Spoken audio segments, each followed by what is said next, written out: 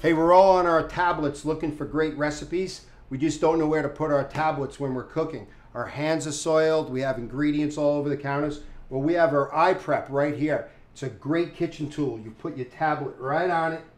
It sits beautiful. It has a stylus. So when you when you want to scroll back and see maybe another recipe while you're making something, it doesn't soil your iPad. Another great feature is that it really folds down for storage. It's actually really nice. It folds down flat. You put your stylus back in here.